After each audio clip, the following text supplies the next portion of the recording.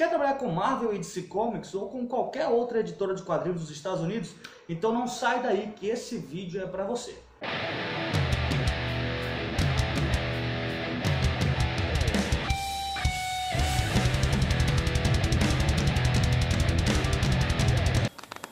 Olá, desenhos do Brasil! E aí, tudo bom com vocês? Eu sou Eric Blake, eu sou quadrinista e ilustrador e antes de continuar o nosso papo aqui, eu quero te convidar a conhecer o meu trabalho, dá uma olhadinha aqui nos links da descrição na rede social, no Instagram, no Facebook, The Bernard, onde eu posto meus trabalhos eu acho que pode ter alguma arte lá que você gosta, dá uma olhadinha e me segue lá que tem muita coisa legal.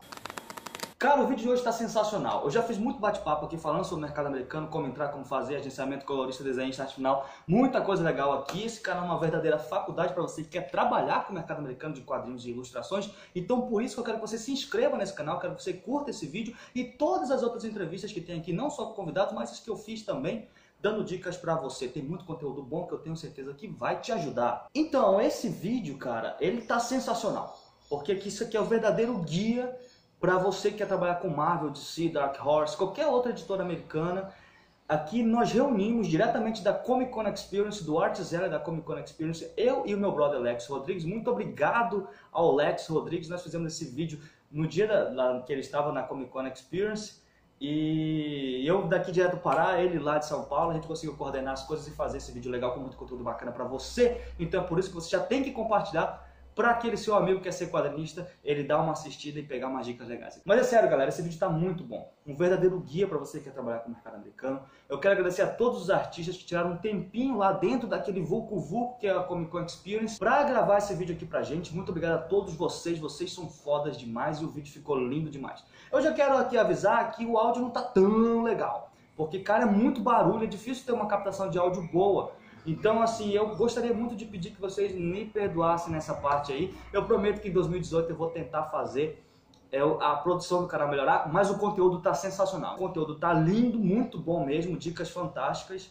Então já curte e compartilha que tá muito legal mesmo. Então dá esse desconto do áudio aí porque o conteúdo vale a pena. E por falar em Comic Con Experience, muito obrigado a todos vocês que mandaram mensagem perguntando qual era o número da minha mesa, se ia ter print do Logan para vender. Então assim galera, olha só, eu não fui esse ano para Comic Con Experience, mas eu gostaria de avisar vocês que eu vou fazer de tudo. Eu tô enrolando desde 2014, cara, para ir para São Paulo. Cara, sério, desde 2014 muita gente manda mensagem perguntando aqui quando é que vai ser, quando ser o voo, etc. Mas é sério, eu vou pra Comic Con de São Paulo, galera. Eu vou. Eu vou fazer de tudo para ir em 2018, tá bom? Se eu não conseguir mesa, mas eu vou nem que seja só para gravar, para encontrar os amigos, os desenhistas, comprar coisas legais. Então, assim, mas 2018 eu vou estar tá lá, eu garanto para vocês, ok? E se você quer que esse canal continue produzindo bons conteúdos, se inscreve logo aí, cara, e vem fazer parte da galera que ajuda o canal do grupo do apoio. O link tá aqui na descrição, ajuda aí o canal, vamos juntos continuar compartilhando conhecimento. Então é isso aí, galera, chega de papo, vamos logo para as dicas que essa galera reuniu, só gente foda. Se liga aí que tá sensacional. Fala galera, aqui é Tony Silas, estou falando aqui pro canal do Eric Blake. Pediram para deixar cinco diquinhas aqui para quem está querendo iniciar a carreira no mercado de ilustração e de quadrinho. Minha primeira dica, estude exatamente o que mais te envolve, o que mais você gostaria de fazer. Você gostaria de fazer mais quadrinho? Que quadrinho? Quadrinho de super-herói, ou quadrinho mangá, ou quadrinho, ou seja, defina qual estilo você mais gostaria de produzir, porque isso é que vai definir qual tipo de estudo você vai ter que ter. Então, por exemplo, se você tiver definido, olha, eu gostaria de fazer quadrinho no estilo mangá. Então, o tipo de estudo que você vai precisar fazer é exatamente de livros de desenho ou procurar cursos de desenho que ensine desenho mangá. Segunda dica, logicamente, já falei que é o livro no estilo que você está buscando. Se você quer desenho realista, por exemplo, você precisa estudar as bases do desenho realista no mercado de comics. São a Andrew Loomis, o Gunnar Hogarth e outros. E a, artistas no mercado que fazem um estilo próximo do que você gostaria de fazer. A terceira dica, estude desenho de manhã, um pouquinho de tarde e metade da tarde para noite, estude negócio. Estude quanto é receber uma página da Marvel Estude quanto você vai precisar investir em material, porque é exatamente essa noção de quanto você vai ganhar, de quanto você vai precisar investir, do valor de um curso, do tempo de estudo. Por exemplo, a maioria diz, poxa, eu gostaria de trabalhar com quadrinho. Quanto tempo você imagina que vai levar? Será cinco anos? Seis anos? É preciso ter essa noção, até para, por exemplo, familiarmente, você precisar dizer para o seu pai, pai, eu vou investir em algo que vai levar X tempo de estudo, mas depois vai me dar um resultado. Porque em outros mercados é assim que acontece. Tal faculdade vai ter tanto tempo de estudo e depois você vai colher os frutos. Então, basicamente, você precisa ter uma métrica, uma, um tempo que você vai precisar se dedicar. Quarta dica, gostaria muito de dizer para investir em estudar um pouco de psicologia, não de forma, ah, quero ser psicólogo, mas psicanálise, a coaching, por exemplo, porque são, todos nós temos modelos mentais. E esses modelos mentais, às vezes, algumas coisas são prejudiciais. A gente tem virtudes e a gente tem vícios. Então, por exemplo, se a pessoa costuma procrastinar demais, ela não vai resolver isso simplesmente dizendo eu não posso atrasar, eu não posso atrasar. Não, ela tem que entender como funciona a mentalidade do procrastinador, do cara que atrasa demais, para lidar melhor com isso. E a quinta dica e última dica que eu digo é não invista só em quadrinhos. Porque o mercado de quadrinhos por si só, ele não é tão rentável quanto muitos imaginam. Você tem a rentabilidade, mas logicamente você vai ter uma idade em que determinado tempo você não vai conseguir produzir com a mesma velocidade da juventude. Então, estude outros mercados. Estude animação, estude o mercado de games, estude o mercado de concept, porque o bom mesmo é ser um ilustrador, ou seja, você está pronto para fazer, produzir imagem para qualquer mercado. E de preferência o que você mais vai gostar, se for o mercado de quadrinhos. Beleza? É isso. Um abração. Tchau, tchau. Estamos indo aqui. Uh, my name is uh, Ben Temple Smith. I do comics for a living in America and English language. And uh, if you want to get into comics, the easiest, best thing to do is to do comics, actual comics, tell stories. No one gets into comics by just doing pin-ups of Deadpool because it's fun and easy for you, but you don't learn how to do comics. So do comics. Pen and paper is all you need, and time. Uh, esse aqui é o Ben Temple Smith. Ele é um ilustrador e ele faz isso para viver. E ele falou que para quem quer iniciar no mercado como quadrinista, tem que fazer comic book mesmo, tem que fazer as histórias em quadrinhos, não apenas desenhar pin ou outro tipo de arte. Tem que pensar numa linha de história e pensar como ele ilustraria, o que ele desenharia para essa história para que ele idealizou. Bom, pessoal, dicas para quem quer ingressar no mercado, é isso? Ah, bom, e o seguinte, primeira coisa, determinação, certo? É, determinação quer dizer o quê? Não desistir na, na, na, primeira tentativa, na segunda e na terceira, na verdade, não desistir por porcaria nenhuma. Ah, outra coisa, buscar informações, buscar pesquisar e buscar referências e boas referências. Estude mercado, certo? Buscar referência requer também estudar mercado. Então é necessário estudar mercado. Pô, o cara chegar sem conhecer nada, sem conhecer porcaria nenhuma, não serve de nada, sabe? É, você dizer é, para mim que, que de repente é, o mercado tá assim, tá, tá X e tal, você não, se você tem essa informação embasada por outra pessoa, você não estudou, você apenas é, pegou de alguém. Isso não é legal. Outra coisa, o ideal é desenhista necessita de um ponto de partida. Ele precisa ter sempre um central, a central de informação para ele, certo? Um, des... um ponto de referência específico.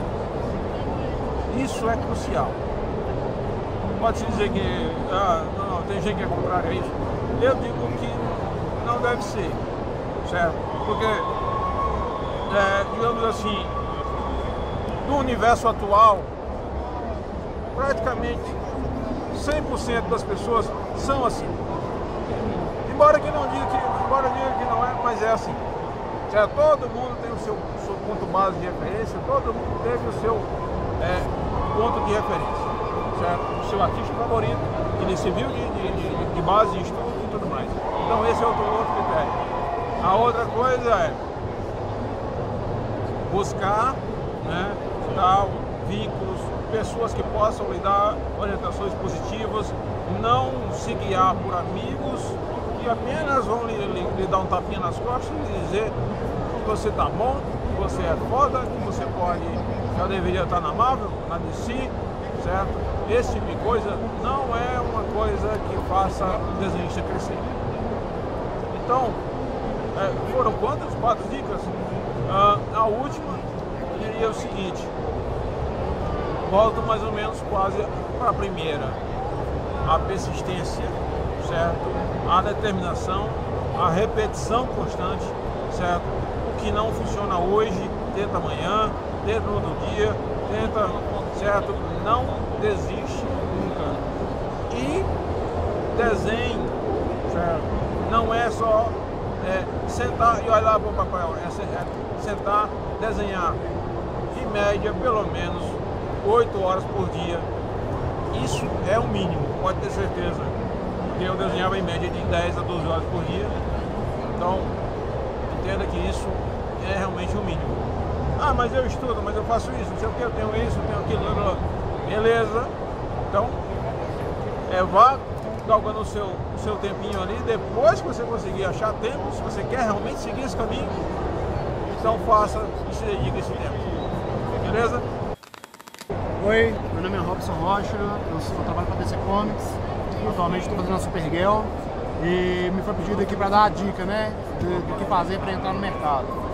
Ó, não tem segredo não, é desenhar. Praticar, praticar, praticar, praticar. É o, a melhor coisa que eu posso falar para o pessoal que está tentando aí. Beleza? Galera do canal, beleza? Meu nome é Adriano de Benedetto, eu sou Inker, arte finalista da Marvel. Eu fiz X-Men Gold, agora estamos fazendo X-Men Blue junto com a RB Silva, que está nos lápis. Queria dar umas dicas de arte final. As coisas que eu sempre tenho em mente quando eu vou começar a página é fazer, primeiro, pensar na narrativa. Nunca fazer algo que vai atrapalhar a narrativa. Depois, pensar bem na separação dos planos. Ou pelo grosso fino do contorno dos personagens, respeitando a luz e sombra. Ou às vezes por uma parte mais cinza, uma preta e outra branca para separar. E o mais importante é estar tá praticando sempre, todo dia pelo menos um pouco, estudar a mesma teoria também e fazer bastante prática aí não desistir, que é importante. Valeu, essa é dica. Fala galera, Márcio Fiorito aqui na Concordes é, Cara, cinco dicas para desenhistas iniciantes. Primeira coisa, é, prepare amostras de página. Não são pin-ups, amostras de página. Os editores querem ver isso. Tá? Segunda dica, ah, não desista. Você vai passar por 200 avaliações de portfólio ruins. Isso é bom, você tem que aprender o que você está fazendo de errado. Tá? Terceira dica, ah, desenhe sempre, sempre, o tempo todo. Sempre, o tempo todo, é, é, é, prática leva à perfeição. Tá? Não existe perfeição, mas prática leva a algum lugar legal. Nunca pare de aprender. Sabe? Tem uma lenda, não sei se é verdade, dizem que o John Buscema, com 60 anos, entrou numa escola de arte porque ele achava que ele tinha que melhorar o traço dele. Não existe material mágico, quem faz arte é você. Então, beleza, ah, eu quero ter, ter um lápis assim assado, esquece, você faz a arte. O David Mack estava aqui e falou pra gente que ele pinta aquelas coisas lindas com aquarela de escola, custa 4 reais. Tá? Então é isso, galera. Boa sorte, mete bronca aí, ó. Valeu. E aí, pessoal, tudo bom? Quem tá falando é RB Silva. E a minha dica para você que quer começar a trabalhar com quadrinhos, acho que a, dica, a principal dica é treinar todos os dias, cara. Sempre que você puder, tá praticando, tá desenhando todo dia. Valeu? Obrigado, boa sorte. Bom, aqui vão as minhas cinco dicas. Primeiro, saiba que você não vai desenhar somente quando você está afim. Você tem que ser responsável, cumprir prazos e, consequentemente, ter uma sistemática para evitar bloqueio criativo, esse tipo de coisa. Segunda coisa, você não vai desenhar só gente forte com roupa colante. Você vai ter que botar os personagens dentro de um contexto, um cenário, com ambientação. Então não adianta só fazer figura bonita, você tem que botar elas dentro de um cenário, saber botar as roupas normais, etc e tal. Terceiro ponto, estude anatomia mais do que tudo. Por quê? Porque essas pessoas, esses personagens, eles têm uma ênfase muito forte no físico delas. Se você pegar e fazer os personagens tudo troncho, você, olha, pode até enganar, mas vai ficar muito bizarro. Quarto e último ponto, você tem que não ler só quadrinhos. Muitos dos escritores que trabalham com quadrinhos, eles não têm somente a sua base literária de quadrinhos, eles leem muitos livros, eles pesquisam, fazem histórias de época e tudo mais. você vai entrar de certo modo na cabeça de um escritor que trabalha com esse tipo de referencial e vai conseguir dialogar com ele de igual modo a ponto de poder fazer uma história colaborativa legal. E eu acho que o último e principal ponto é, seja honesto consigo mesmo. Se você não gosta de super-herói e está pensando, ah, vou ficar rico, vou encher o rabo de dinheiro com isso, cara, fazer quadrinhos não deixa você rico, faz você viver dignamente, certo? E eu acho que viver dignamente é fazer o que gosta, então seja honesto consigo mesmo. Falou, um abraço. E aí galera, aqui é o Will Conrad. Aqui vão algumas dicas para quem está afim de entrar no mercado americano, tá? É, a primeira delas você ser apaixonado por aquilo que você faz, gostar muito de quadrinhos, gostar muito de desenhar e, e realmente dedicar o seu tempo a melhorar o seu trabalho. A segunda delas é tenha disciplina, separe um horário para você estar tá treinando e desenvolvendo a sua arte, para que ela chegue no nível que o mercado é, procura.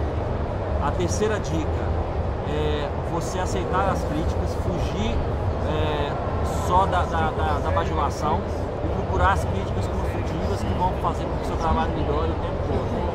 A quarta, é, nunca se compare aos piores que estão no mercado, sempre procure se comparar aos, aos melhores, que é dessa forma que você vai estar mais próximo de fazer com que o seu trabalho chegue no nível para você estar pegando o material no mercado americano, no mercado europeu. Tá?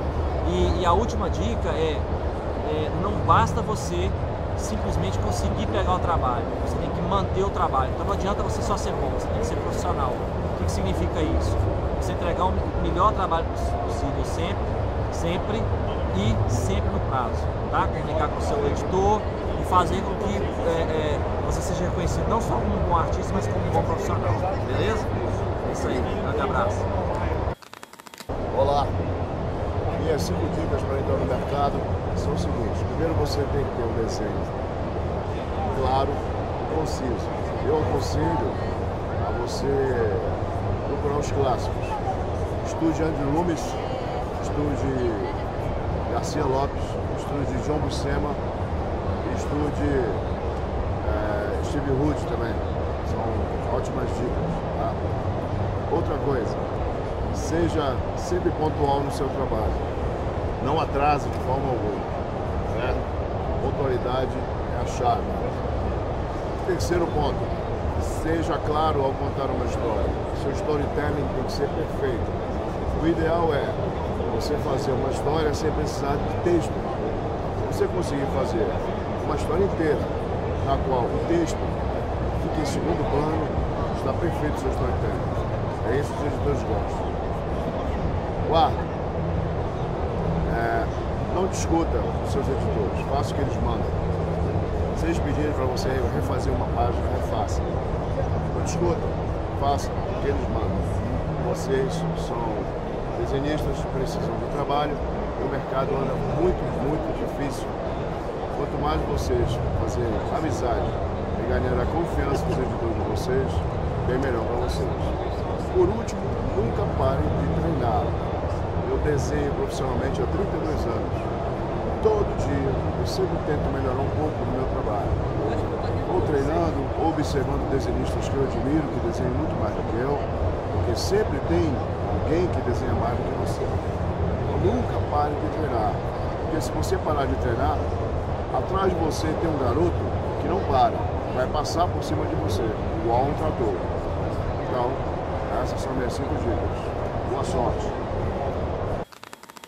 Sensacional, é só isso que eu posso dizer desse vídeo. Muito obrigado a todos os amigos artistas que passaram aqui e deixaram essa dica. Cara, olha, esse vídeo aqui tem uma verdadeira escola. Muitas dicas boas mesmo, galera. Muito obrigado a todos vocês que deixaram essas dicas aqui pra galera do canal. Eu aprendi muito, então tenho certeza que você está assistindo e aprendeu também. Então já se inscreve, já compartilha e ajuda o canal a crescer, ok? Muito obrigado a todos os artistas que ajudaram esse vídeo pro ar. Muito obrigado ao Lex que ajudou a fazer esse vídeo aqui. Muito obrigado, meu brother, você é foda. Muito obrigado a você que assistiu até o final. Galera, olha só, o nosso canal tá crescendo. Bora bater 5 mil inscritos? Vamos bater! Então me ajuda compartilhando esse vídeo aqui, curte, comenta aí se você curtiu e comenta também se você quer é, o que, que você quer mais aqui? Se você quer indicação de quadrinhos, se você quer mais vídeos comigo desenhando, ou tirando dúvidas, ou então respondendo nos comentários, enfim, dá dica de vídeo, de tema aí nos comentários, beleza? Muito obrigado, vamos juntos, compartilha, bora bater 5 mil inscritos, eu conto com a sua ajuda, hein? Vamos juntos alcançar essas 5 mil pessoas aí. E lembrando que tá tendo sorteio lá no grupo do Apoios pra galerinha, então corre lá que tem muita coisa legal. Vem fazer parte do grupo de apoiadores aqui do canal.